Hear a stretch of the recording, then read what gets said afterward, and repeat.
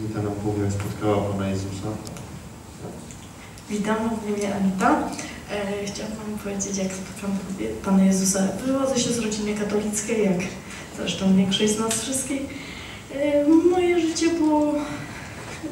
W domu było tak, można powiedzieć, normalnie, ale, ale szukałam tego, co świat może mi przynieść.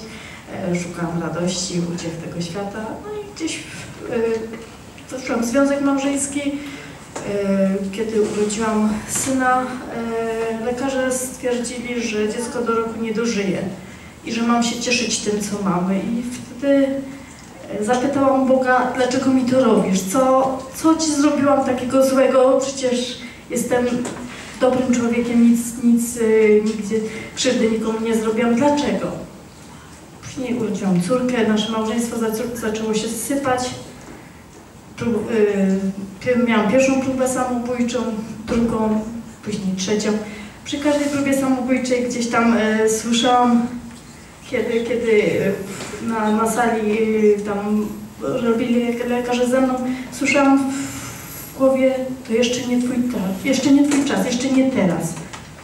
I kiedy cztery lata temu y, byłam na skraju wyczerpania nerwowego, skrajnej depresji, stanęłam przed Bogiem i powiedziałam mu, jeśli jesteś, to albo pozwól mi umrzeć, albo mnie stąd zabierz, bo ja już tak dłużej nie mogę.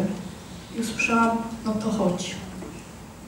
Zabrałam się, zostawiłam dwoje dzieci, zostawiłam męża, zabrałam parę rzeczy do plecaka, miałam 17 zł w portfelu i poszłam. Poszłam, wyszłam z domu, poszłam tak naprawdę nie wiedząc gdzie, dokąd idę, co będzie ze mną, gdzie trafię. I wylądowałam na ośrodku dla ofiar przemocy w rodzinie. Tam tak naprawdę wszystkiego musiałam, musiałam uczyć się na nowo, bo kiedy wylądowałam u lekarza, to pan psychiatra stwierdził, że mam skrajną depresję e, z manią samobójczą i poszłam, poszłam do kościoła katolickiego, chciałam się wyspowiadać, bo bardzo mi ciążyło to, że zostawiłam dzieci, bo jestem wyrodną matką, no bo jak można zostawić swoje własne dzieci i odejść z domu.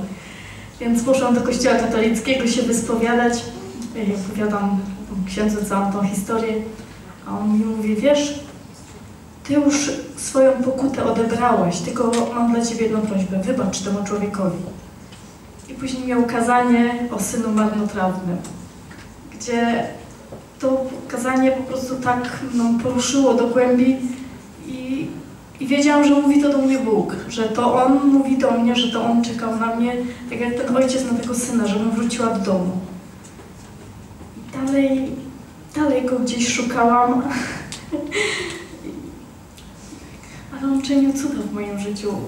Miałam, e, dostałam pracę w otwierającym się na nowo hotelu, gdzie przy, przy moim e, wykształceniu no nie powinnam była dostać tej pracy, tak?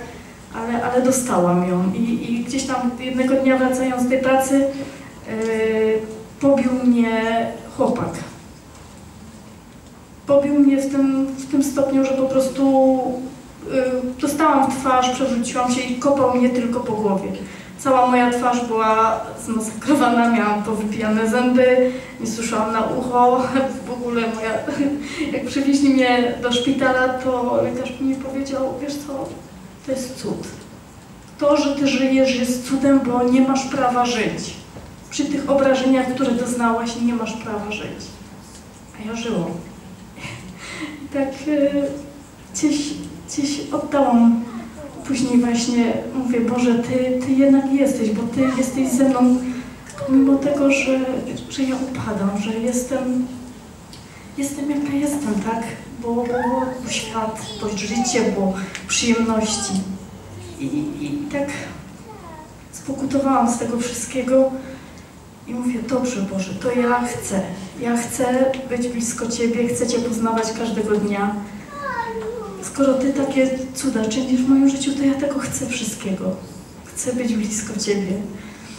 I tak, tak poszłam za nim, posłuchałam go i po pewnym czasie gdzieś tam w pracy ktoś mnie zapytał, a co Ty taka szczęśliwa chodzisz, zmieniłaś się, pewnie, pewnie faceta poznałaś. Wiesz, wiesz, no...